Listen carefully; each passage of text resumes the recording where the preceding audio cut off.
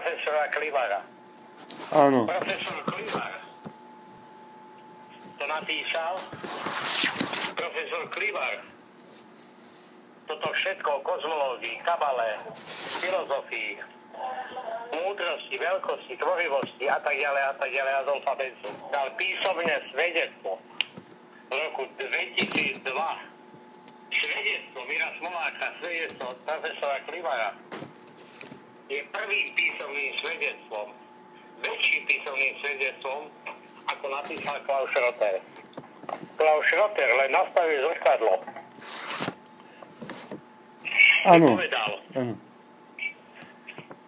Adolf Benca podľa vývoja doterajšej tvorby bude raz musieť byť, bude raz musieť byť zaradený medzi takých veľkých svetových expresívnych umelcov, akým bol Rembrandt, Goya a Munch. Ale to bolo nastavené iba zrkadlo. Profesor Klivar, Prahe 2002, Áno.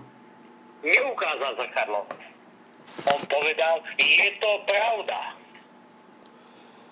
A tretí, Karol Gerci, Katarína Hanušinová, Monika Bažová, Adolf Benca Akadémia, plávajúce galérie, povedali, je to najväčšie, aké bolo doteraz a nie väčšej empatie, nie väčšej lásky, nie väčšieho mierotvorstva, ako Nobelová cena za mier Adolfovi Bencovi a Adolf Benca Akadémii.